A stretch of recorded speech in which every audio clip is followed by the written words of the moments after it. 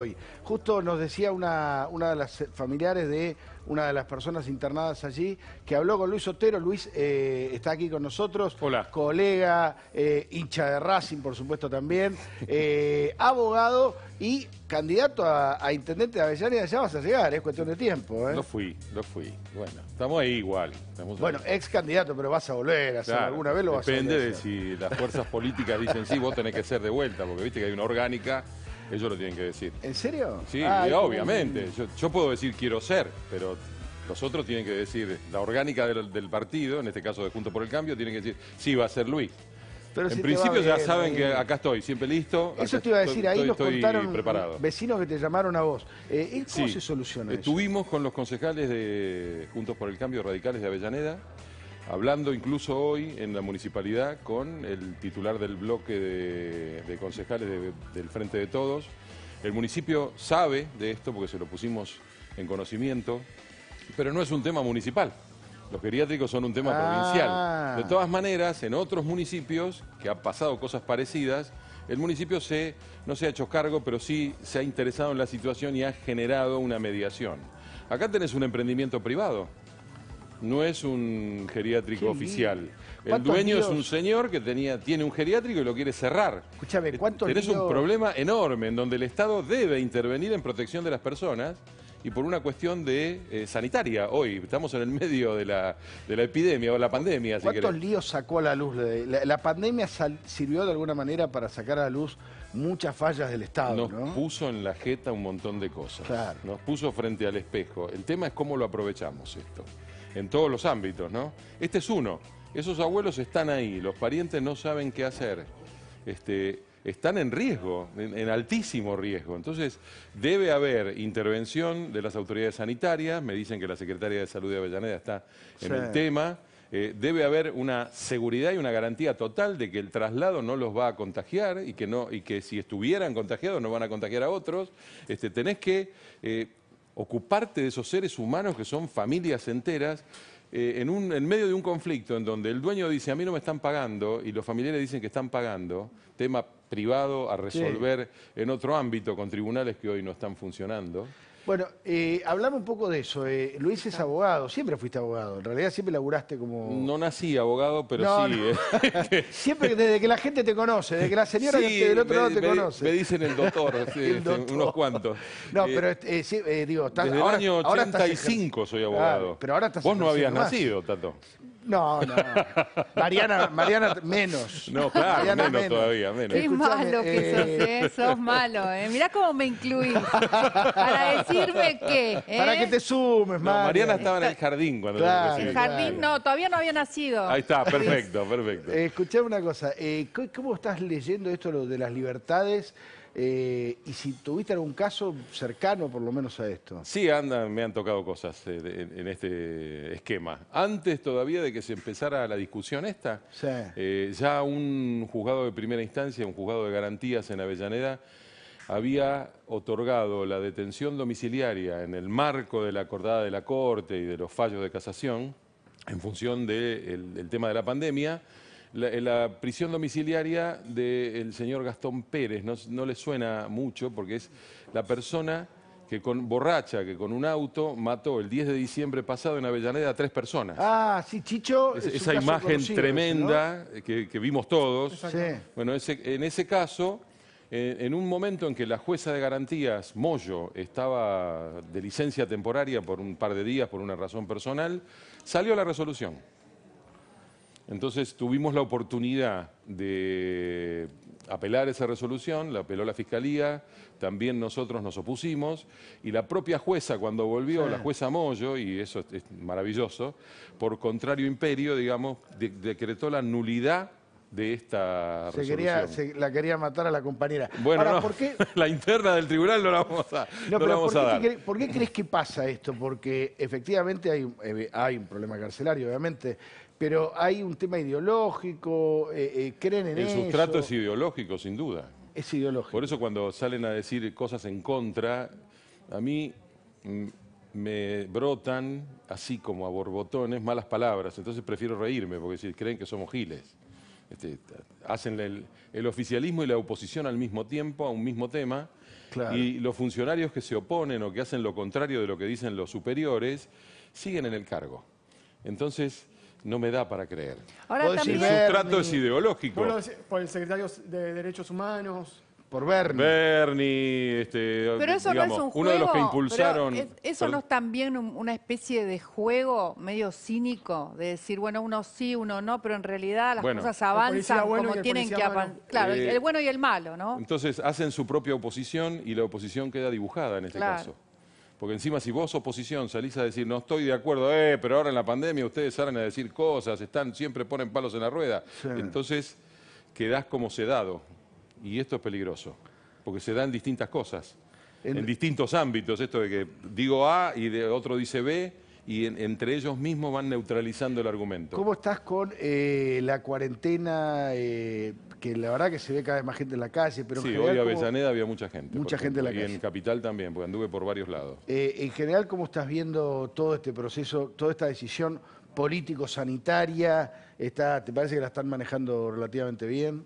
El resultado lo vamos a ver dentro de un tiempo y ver quién tenía razón, si los suecos, por no nombrar a otros, o nosotros. Yo creo que esta cuarentena temprana evitó un contagio masivo. El tema es cómo seguimos. ¿Te preocupa mucho la economía? Me, me preocupa mucho el trabajo. Y al hablar del trabajo hablamos de la economía. sí, sí.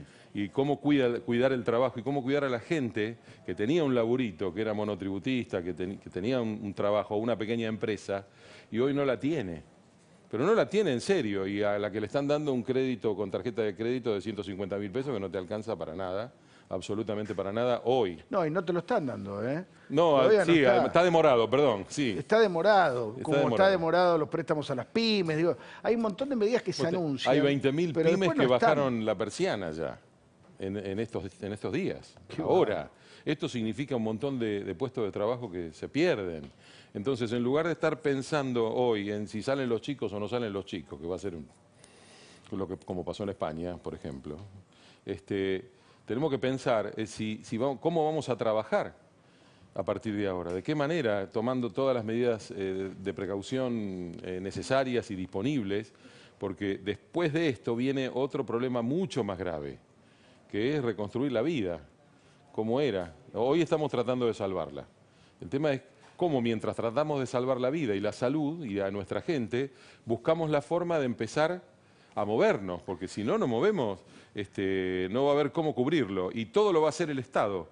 Entonces estamos cambiando absolutamente cómo funciona nuestra sociedad en tres meses. La dirigencia, ¿cómo, cómo la ves para frente a esto? Ahora vuelve el Congreso, lo que es una buena noticia. Gracias a Eh, Dios. Sí, pero en Gracias general. ¿ves a la dirigencia apta para este momento histórico? Eh, ¿O no? Yo creo que estamos todos aprendiendo. Esto es inédito. Es, comparable no, con una guerra, Sí. es inédito y en el marco de un esquema de guerra, eh, el- es- hacer oposición es muy difícil. Tenés que tener prudencia, pero a la vez tenés que tener constancia y firmeza Claro. como para plantear cosas. Los principios no, se, no están en cuarentena. Este, la- los objetivos de la República no están en cuarentena, la libertad no está en cuarentena. Sí está nuestra salud en cuarentena, pero eh, lo demás eh, es una oportunidad y esa oportunidad la dirigencia la tiene que tomar. Claro. Es por, por eso que es muy importante que la oposición esté más unida que nunca, eh, de manera coherente, prudente, con propuesta, eh, como para desbaratar algunas mentiras. Porque- Chicho, métanse. Déjame preguntarte y, y ya te paso con ellos. ¿Extrañás eh, este laburo, el periodismo o no? Nunca dejé de hacerlo porque sigo haciendo cosas, ¿no? Estoy ahí, siempre estoy. No, no se me ve en cámara, pero estoy haciendo cosas. Eh, Pero el día el día a día con la noticia, con el despelote, con la tanto a mis televisión. compañeros, sobre Ah, todo a mis compañeros, el extraño el ambiente, muchísimo ¿no? de- de estar ahí. Porque es como estar en casa. Vos porque durante- no tenés los compañeros que tengo yo, acá son un desastre. No, acá hay un muy buen clima. estos, Acá son todos, estos son todos peligrosos, no sabes lo que la gente que hay acá. Está bárbaro. Peligrosísimos. Lo que pasa es que no, no te ceban un mate acá. No, ah, no, no, se ahora puede. no. No se ahora puede, no se puede. No, No se lo- puede. lo- los técnicos son de tomar mate, pero empezaron a traerse un mate cada uno, ahora ya ni Es, traen. es el famoso Tomisoli ese. Tommy Soli, Claro. sí señor. ¿Extrañás el, el laburo Pero por de- supuesto, verlos todos los días, subir por esas escaleras a los gritos todo, como todos los días, este, a los altos, con alegría, eso lo extraño.